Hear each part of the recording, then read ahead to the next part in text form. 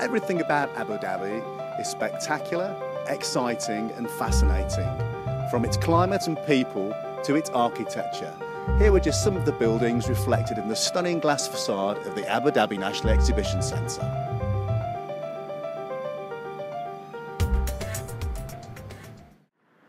Unsurprisingly, the architecture of the Abu Dhabi National Exhibition Centre is pretty spectacular too, as you can see behind me. So welcome to the Gulf Incentive Business Traveller Meeting Show 2013. I'm Ian Whiteling from Meeting the World, and I'll be reporting across the show just for you. First up, here's a sneak preview of the last minute preparations. Here we are now in the exhibition hall itself with the final preparations for GIBTM feverishly taking place behind me as I speak. And it looks like it's going to be another spectacular show. Right across the show floor, the final pieces in this huge jigsaw puzzle are being painstakingly put into place. When the guests arrive, they'll head to the registration desk before taking a short trip across the walkway and into the show itself.